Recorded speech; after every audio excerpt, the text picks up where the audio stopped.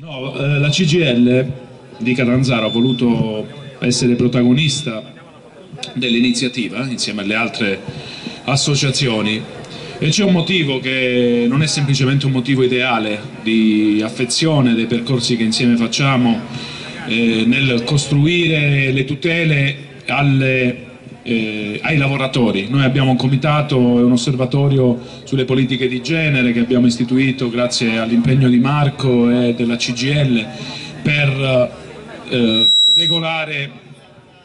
per eh, capire cosa succede nel mondo del lavoro, perché c'è una cosa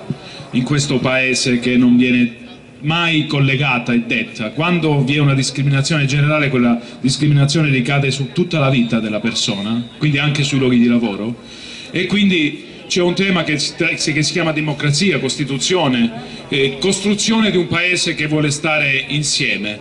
Ecco, noi come CGL siamo in piazza non per difendere una parte, ma per difendere questo paese, per difendere la libertà di questo paese di essere se stesso, semplicemente se stesso nel modo di rappresentare i diritti delle persone.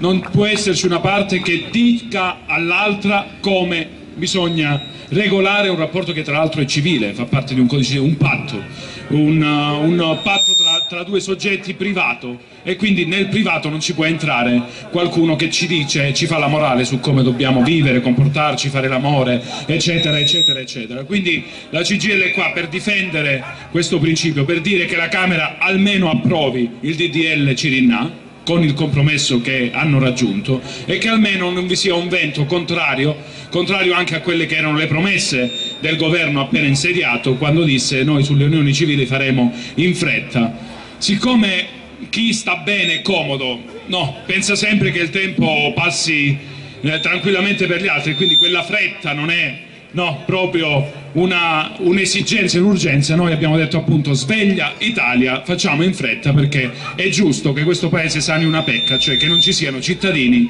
che hanno meno diritti degli altri e noi continuiamo questa battaglia.